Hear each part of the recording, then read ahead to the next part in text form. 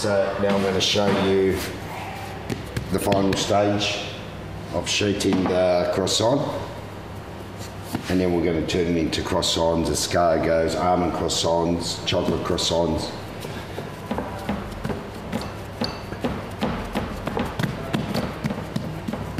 And don't try attempt this when the weather's 40 degrees outside because it's not going to happen. Your butter's going to melt.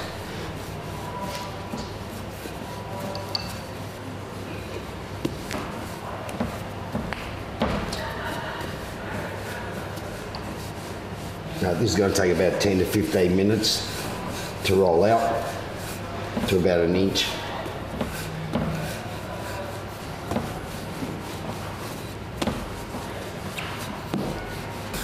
Okay, so you can see how the butter's been distributed evenly through the croissant, right? And you want that to happen so all the croissant has got butter through it.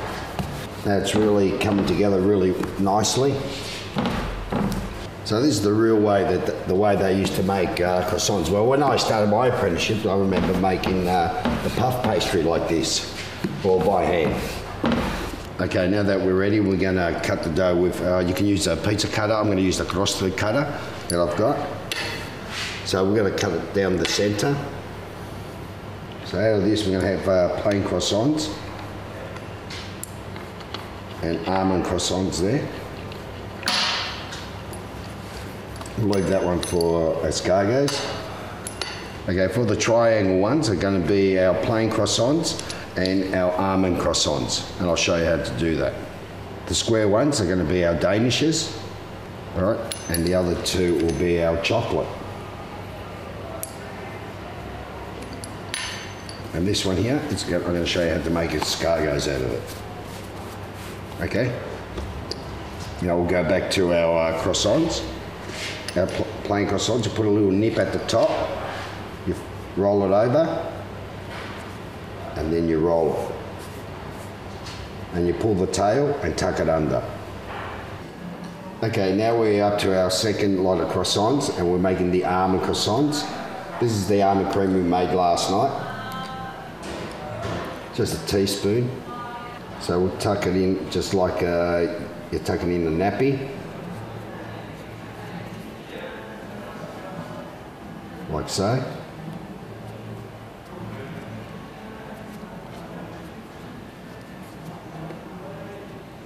We get some almond cream. And we spread it on top, like so, and we dip it in the almond flakes. Okay, now I'm going to place them on the tray. So this is good because uh, they'll start uh, rising, and that's what we want to happen. Okay, the rectangle ones, I'm going to show you how to make the danishes out of it and using the almond uh, cream. Corner to corner.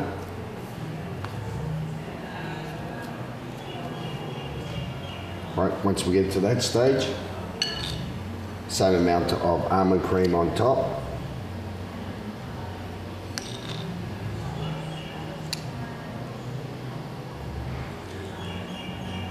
And we'll place them on the tray.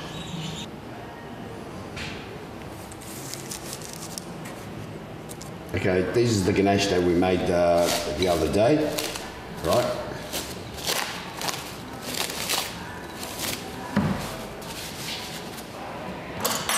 And these are the other two rectangle ones that we're going to turn into uh, chocolate croissants. Okay, the reason why I'm putting two um, two rows of uh, chocolate croissant is the way that I fold my chocolate croissants, so you get more chocolate in there. So what you do is you flip the first one over halfway, and then the other one the same.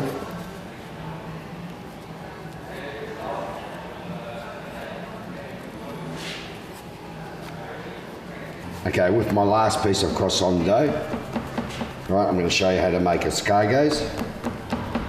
All right. Using the almond cream. You also can use custard if uh, you've got custard ready to go that you've made. And now I'm going to add some sultanas to it.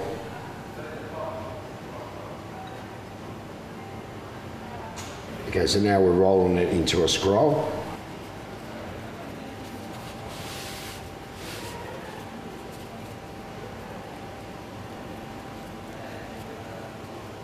Okay, so you get a log like so, and it's like a scroll.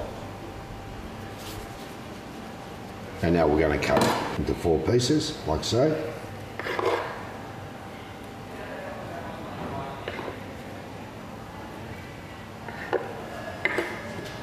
So what we do is we tuck it under, like so, and we'll place it on the tray. And the reason why we're tucking it under, if you don't do that, we'll end up opening up while it's proving and it's in the oven. Okay, so what we've made out of that one kilo of dough, we've got some plain croissants, uh, uh, Danishes, almond croissants, chocolate croissants, and escargots. And then after we're going to glad wrap them and put them in a warm place. When you're putting the glad wrap on it, don't uh, put it on tight, just nice and loose because these are going to double in size in the next hour to hour and a half. Okay, so they've been sitting for an hour and a half. You can see how big they've gone. And now we're going to go put them in the oven, at the preheated oven at 180 for about 20 25 minutes.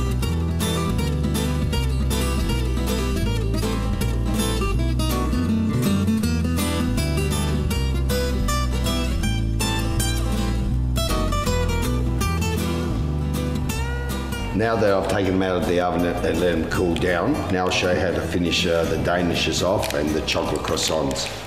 So I'm going to put uh, some fresh strawberries on it.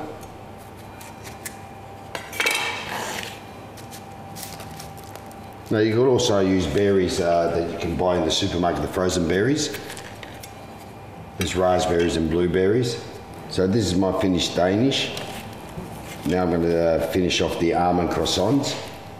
We're just going to dust it with a little bit of uh, icing sugar. This is the ganache that we made uh, the day before. So I've just uh, microwaved it for about 30 seconds, so it's a little bit runny. So what we do is just flick it on like so.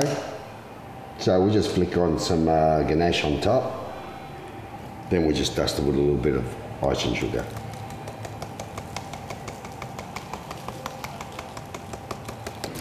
A lot of viewers, as you have witnessed Dominic and his skill at making these amazing pastries, 24 hours, that's the result.